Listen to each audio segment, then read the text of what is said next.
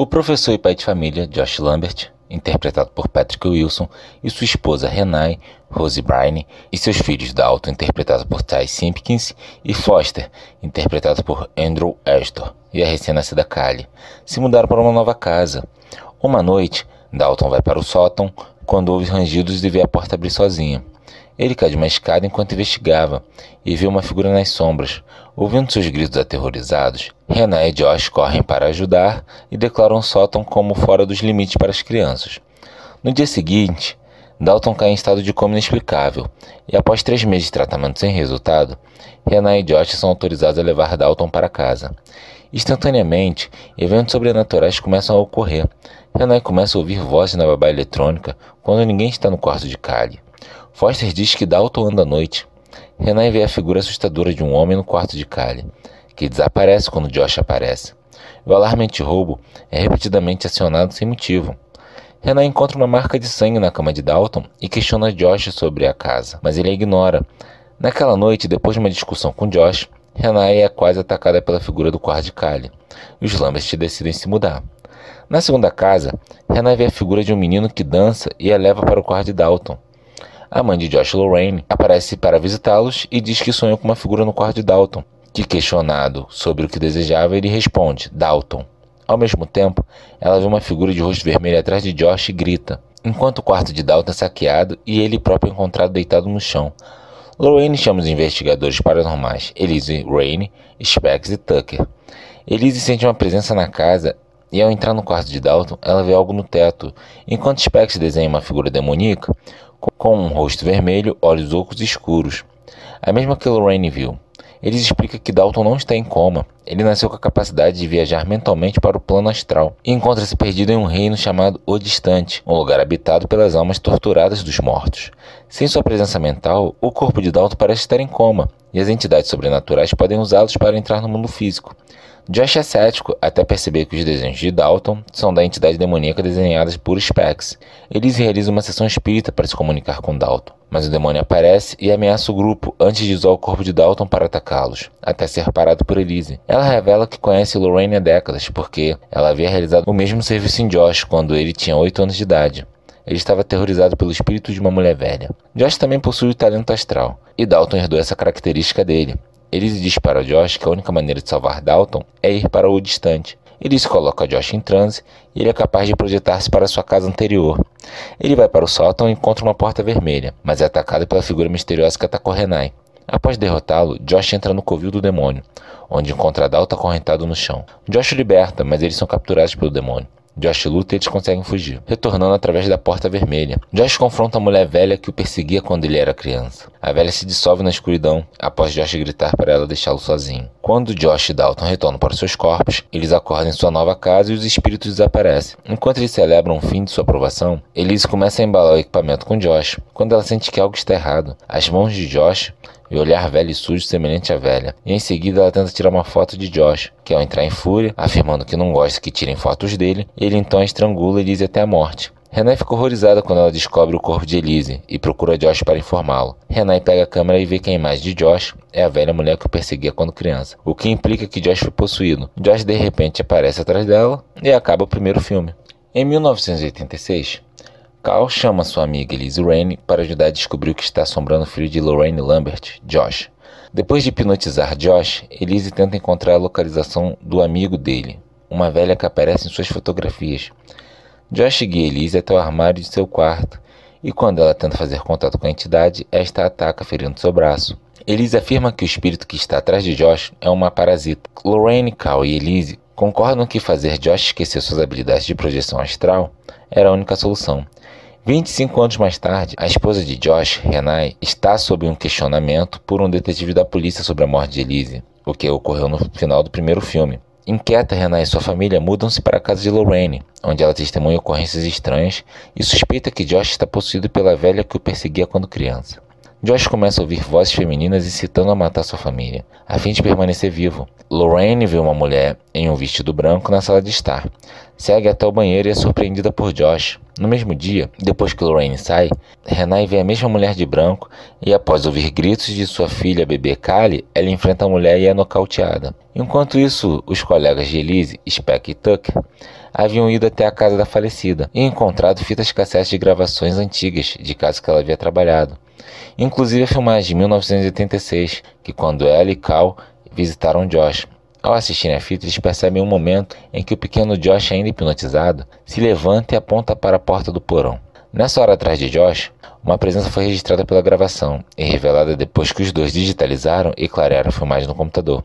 Lorraine também chega a casa e Specs e Tucker mostram ela a gravação, onde ela reconhece o vulto atrás de Josh como sendo o próprio Josh adulto. Eles chamam Cal e tentam entrar em contato com Elise, jogando dados com letras e esperando pelas respostas. Através dos dados, eles são instruídos a encontrar respostas no agora abandonado hospital Nossa Senhora dos Anjos, onde Lorraine diz que já havia trabalhado no lugar e conta a história de um paciente chamado Parker Crane, que ficou na UTI do hospital para tentar se castrar e suicidou-se lá, se jogando pela janela. Há muitos anos atrás, eles então procuraram pelos registros do antigo hospital pelo nome desse paciente e conseguem achar o endereço de sua antiga residência. Na casa de Parker, também abandonada, Espécie Tucker vê uma entidade, aparentemente uma menina, que diz para eles saírem dali, ou senão ela iria forçá-los a matá-los. Eles encontram uma sala secreta com 15 cadáveres cobertos por lençóis, um vestido de noiva preta e recortes de jornais sobre um assassino conhecido como The Bride in the Black, ou a Noiva de Preto, que sequestrou e assassinou várias pessoas enquanto vestido como uma mulher. Eles entendem que, na verdade, a velha que sempre perseguiu Josh era o assassino Park em seu disfarce. Cal tenta se comunicar com Elise, novamente por meio dos dados. Então é revelado que os dados não estavam sendo falados através de Elise, mas da mãe de Parker. Enquanto isso, o corpo de Josh, possuído por Parker desde o início, começa a deteriorar-se lentamente. Lorraine volta à sua casa e insiste que ela e Renan e as crianças se afastem de Josh. Specs e Tucker, acompanhados de Cal, planejam aplicar um tranquilizante em Josh para que, com ele desmaiado, possam tentar trazer sua verdadeira alma de volta. Cal então entra na casa, mas Josh deduz que ele sabe a verdade e o ataca. Specs e Tucker entram para ajudar Cal, mas Josh incapacita os três, além de deixar entender que havia matado Cal. Cal então desperta no outro mundo como espírito, onde encontrar uma perdida do real Josh, e juntos eles partem em busca de Elise. Josh, ainda no mundo dos mortos, entra em sua antiga casa e vai até o quarto de sua filha recém-nascida, onde um espírito maligno está se aproximando dela. Ele intervém e parte para cima do espírito, mas é dominado. Elise aparece e expulsa o espírito da casa. Esses acontecimentos explicam o incidente misterioso do primeiro filme, em que a porta da frente é repetidamente aberta e o alarme soa. Era a alma de Josh tentando entrar na casa para ajudar sua filha. No mundo real, Josh, possuído por Park, embosca Lorraine e Renai. Ele tenta sufocar Renai, mas no último momento é acertado na cabeça por Dalton, que havia chegado à casa junto com seu irmão menor. Renan e as crianças escapam para o porão. Dalton adormece e retorna ao mundo para resgatar seu pai. Lá, Elise explica ao real Josh que para derrotar o espírito maligno de Park, ele teria que ir até o lar nas trevas da entidade, encontrar as lembranças do mesmo e apagá-las da memória dele. Josh, que não sabe como chegar até esse lugar, e Elise afirma que eles estão perguntando ao Josh errado. Os três então vão até a casa de Lorraine, 25 anos atrás, no mesmo momento que Josh era criança e estava hipnotizado. Josh, o adulto, pergunta a seu eu pequeno onde se encontra o lar da velha e ele aponta a porta do porão. Nesse momento se esclarece porque Josh adulto aparece na gravação de 1986. Os três, Josh, Liz e Cal, descem ao porão e encontram uma porta vermelha, semelhante àquela que ele atravessou no primeiro filme para chegar ao distante. Eles passam pela porta e encontram a antiga casa de parque, onde testemunham sua mãe Michelle, a mulher de branco, abusando dele quando ele era uma criança. Michelle o trata como uma menina, chamando de Marilyn. Ela é violentamente abusiva sempre que ele age como um menino ou refere-se a si mesmo como Parker. Então esclarecido que Parker tinha matado suas vítimas, todas do sexo feminino, amando o espírito da mãe, que também dito a ele que matar a família de Josh iria sustentar seu novo corpo, porque ele estava rejeitando sua alma. Josh finalmente encontra a sala cheia de corpos de vítimas de Parker. Ao ser surpreendido por Michelle, os dois começam um confronto. Quando Josh está sendo sufocado pelo espírito, Elise o salva e mata a alma da mãe de Parker, eliminando sua lembrança da memória do mesmo. Ao mesmo tempo que, no mundo real, Josh possuído estava prestes a matar Dalton com o um martelo, após os três fugirem, Elisa revela que Cal na verdade ainda está vivo. Eles se encontram com a alma de Dalton, que o ajuda Cal e Josh a retornarem ao mundo dos vivos, onde eles acordam voltando a si mesmos. Josh Dalton voluntariamente tem as memórias e suas habilidades de projeção astral apagadas através de um processo de hipnose radical. Algum tempo depois, Specs e Tucker vão até a casa de uma família. Specs e Tucker vão até a casa de uma família cuja filha, Allison, está em um coma inexplicável, sem o conhecimento deles. Eles entram na casa e se aproximam de Allison, embora a filha mais nova da família, Anne, percebe Elise. Ela tenta fazer contato com Allison, chamando-a, então ela ouve um ruído de crepitação, som que sinaliza a presença do demônio vermelho, o mesmo que perseguia Dalton no primeiro filme e suspira assustada quando vê algo nas sombras da sala.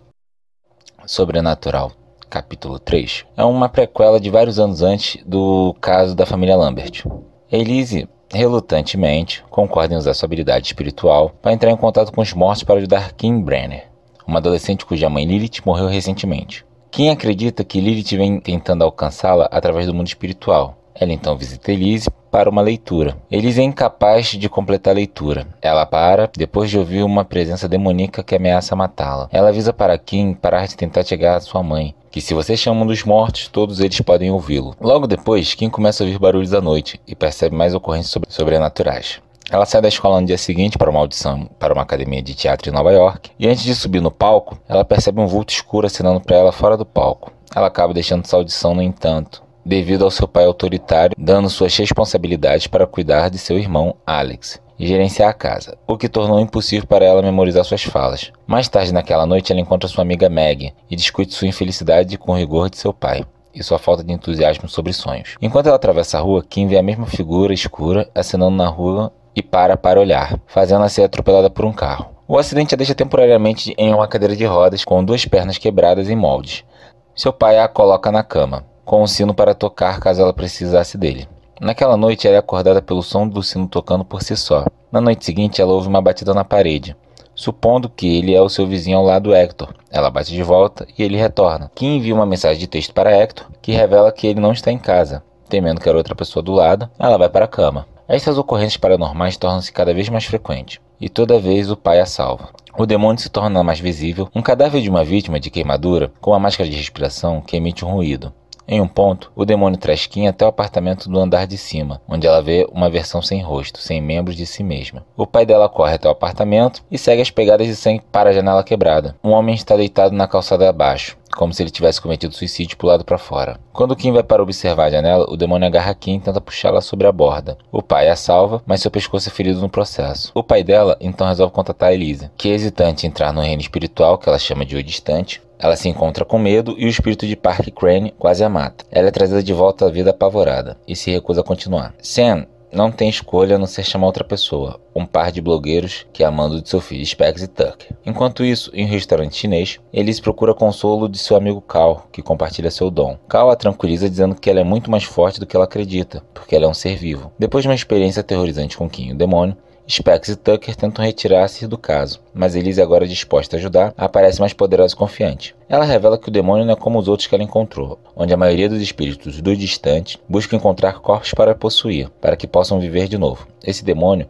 arrasta almas vivas e puras para o distante, podendo assim torturá-las. No distante, Elise liberta o espírito de uma menina que o demônio havia capturado três anos antes e supera o demônio. O demônio assume a forma do marido morto de Elise, Jack, que se matou há um ano em uma tentativa de enganá-la, diz para se matar para que eles possam ficar juntos. Depois de uma reunião chorosa, Ace percebe que na verdade é o demônio e facilmente o derrota, mas ele agarra uma versão sem rosto de Kim. Essa versão de Kim é revelada ser a metade da alma de Kim, com os controles dos demônios. Elise retorna ao mundo dos vivos e diz ao grupo que esta parte da batalha deve ser travada por Kim sozinha. No entanto, Kim está perdendo a batalha. Enquanto sua versão alternativa ganha mais recursos, Elise ouve a voz da esposa do vizinho de Brenner, que havia morrido na outra noite, levando ao diário de Kim, que contém uma carta de Lilith. Queria que ela lesse antes de se formar. O poder desta carta ajuda a orientar Lilith para salvar Kim e banir o demônio. Lilith a deixa com algumas palavras de despedida e a família está finalmente reunida. Specs e Tucker decidem se juntar a Elise para lidar com outros distúrbios sobrenaturais. Elise vai para casa e encontra o espírito de seu marido que deixou sua camisola na cama. Sobrecarregado com emoção, ela mantém sua estreita camisola. Seu cão, em seguida, começa a latir para a escuridão, onde um rosto sinistro espia de volta para ela. Enquanto Elise olha para um rosto pequeno, um demônio com face em vermelho sangue sai ao lado dela.